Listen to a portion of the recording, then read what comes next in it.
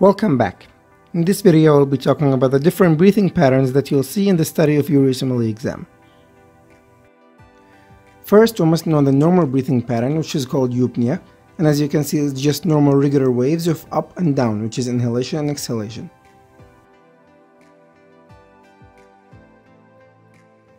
And this is called tachypnea and as you can see the breathing patterns are regular but they're more in number.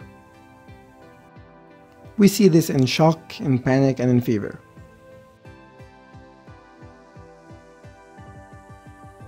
Next we have bradypnea, and as you can see the wavelength is very shallow and slow. We see this mainly in sleep, and certain CNS injuries, and drug overdose.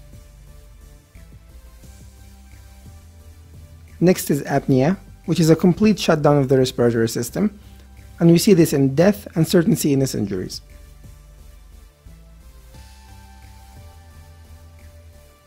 Next is Cheyne-Stokes pattern, which is a gradual increase then decrease followed by a period of apnea.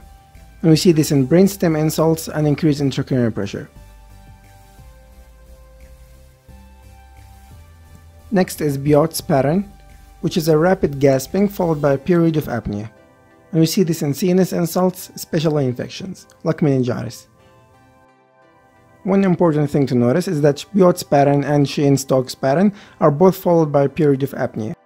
But Cheyne-Stokes pattern is gradual increase followed by decrease, and Biot's pattern is rapid gasping. And finally is Kussmaul's pattern, which is rapid respiratory rate with deep breaths. And we see this in metabolic acidosis and diabetic ketoacidosis. It makes sense because rapid breaths will expel the carbon dioxide and decreases the acidity of the blood. Alright guys, that's everything I've got. Hopefully I made this easier for you and see you guys later.